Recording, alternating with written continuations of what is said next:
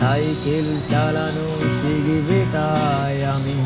আজ সাইকেলে ঘুরে বেড়াই, শুধু ছলনাই তোমার ছোঁয়া মেলে না।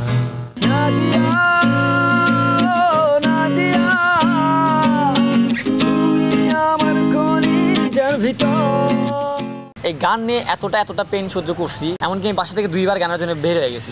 দর্শক আজ দৈনিক করতোয়ার ক্যামেরায় নিয়ে এসেছি এক আগামী সম্ভাবনাকে। আমার সাথে আছে নাদিয়া গান খ্যাত এম এইচ পায়েল। আজ জানব তার গল্প। সাথে আছি আমি স্মৃতি সঞ্চয়িতা অর্থী। আমি এম এস পায়েল আর আমার মানে অরিজিনাল বাসা তো হচ্ছে সারাকান্দিতে বগুড়া সেরা সারাকান্দিতে আর আমি ছোট থেকেই থাকছি হচ্ছে আপনার সারাকান্দি আর হচ্ছে নারুলি। আর যখন আমি ইন্টার পড়ি ঠিক আছে? যখন বগুড়া কলেজ বগুড়া ইন্টারে পড়ি তখন আমি থাকেছিলাম কলোনিতে একা। ইগল টিমের সাথে আপনার যাত্রা এবং ইগল টিমের সাথে কাজ শুরু করা এটা আসলে কীভাবে? কীভাবে যোগাযোগ করলেন তাদের সাথে? নাকি তারাই আপনার সাথে যোগাযোগ করেছিল? এগুলোর সাথে আসলে আমি অনেক ছোট থেকে ট্রাই করেছিলাম ওদের সাথে একটু কানেক্ট হওয়ার জন্য ঠিক আছে?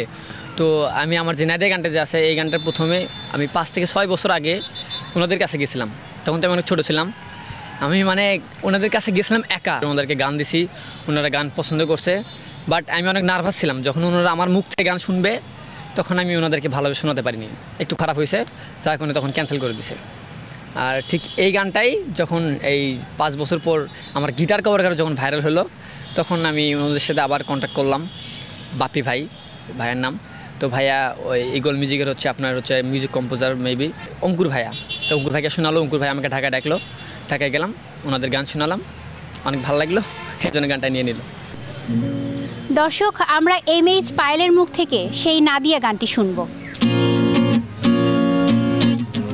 আমারে একা করিয়া কই গেল চলিয়া গলি যাতে দাগ লাগাইয়া, আইলা না আর ফিরিয়া। এখন কি আমার মুখে কোনো মায়া জমে না? পার গর ব্যথা লইয়া যাই জগৎ ছাড়িয়া।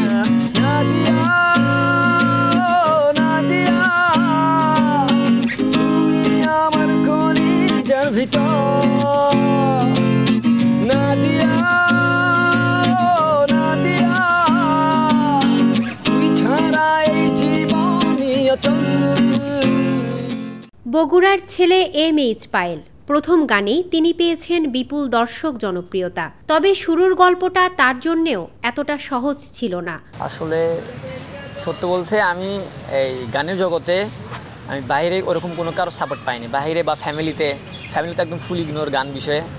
তবুও আমি আমার মানে প্রচেষ্টা, ঠিক আছে? আমি অনেক ছোট থেকে এই গান নিয়ে এতটা এতটা পেন সহ্য করছি, এমনকি আমি বাসা থেকে দুইবার গানের জন্য বের হয়ে গেছি, চলে গেছে একদম। আমাকে অনেক হাসি ঠাট্টা করছ না আমার রিলেটিভের ভিতরেও আছে, আমার এমনকি আমার ফ্রেন্ড সার্কেলের ভিতরেও আছে। বাট ওনারা এখন আমাকে দেখলে খুব ভালোবাসে, খুব ভালোবাসা দেয়। দুই একজন বড় ভাই বা ফ্রেন্ড সার্কেল আমাকে অনেক উৎসাহিত করছিল বাট সবাই না। আর এখন এমন একটা জায়গায় আসছি আল্লাহ রহমতে।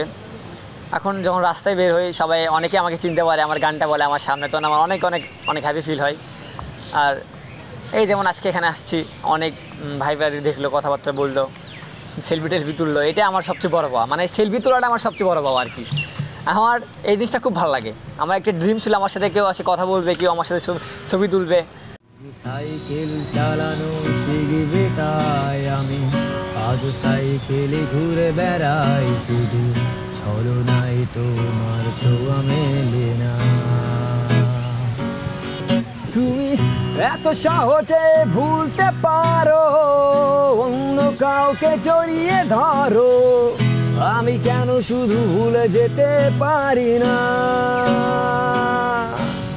আজ অবাক লাগে তোমায় দেখে, আমায় আজ তোমার অচেনা লাগে। এত ভালো অভিনয় কেন জানি না। তবে একটা জিনিস না বললে না, আমার এই ওঠার পেছনে, এত সহজে ওঠার পেছনে দুটা ব্যক্তির খুব গুরুত্বপূর্ণ অবদান আছে। তো প্রথমে হচ্ছে আমার হচ্ছে সাবিব শিয়াব ভাই সত্য হামিদুল ইসলাম মিলন স্যারের বড় ছেলে সাবিব শিয়াব ভাই। তো ভাই আমাকে প্রচুর হেল্প করছে। তো শিয়াব ভাইকে আমি অসংখ্য ধন্যবাদ জানাই।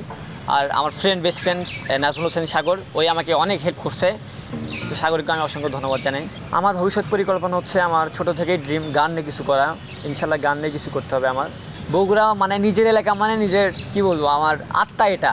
তো আমার ইচ্ছা আছে বগুড়াকে নিয়ে নতুন মানে নতুন কোনো মিউজিক তৈরি করা। তুমি কেন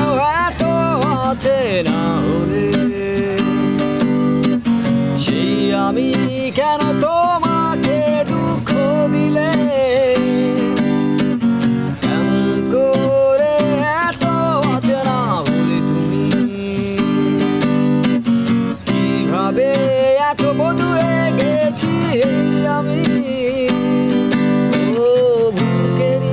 সব কষ্ট দু হাতে সরিয়ে চলো বলে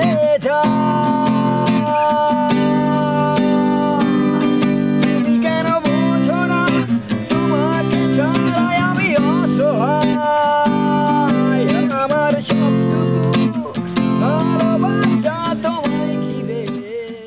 আমি জানি দৈনিক করতোয়া উত্তরবঙ্গের জনবহুল পত্রিকা এবং অনলাইন প্ল্যাটফর্ম তো আমি আশাবাদী রাখছি দৈনিক করতোয়া এইভাবে এগিয়ে যাবে আর তাদের প্রতি আমার অসংখ্য অসংখ্য ভালোবাসা থেকে যাবে ইনশাল্লাহ ভাই আপনার সাথে কথা বলে আমাদের অনেক ভালো লাগল এবং করতোয়ার ক্যামেরাকে সময় দেওয়ার জন্য আপনাকে অসংখ্য ধন্যবাদ।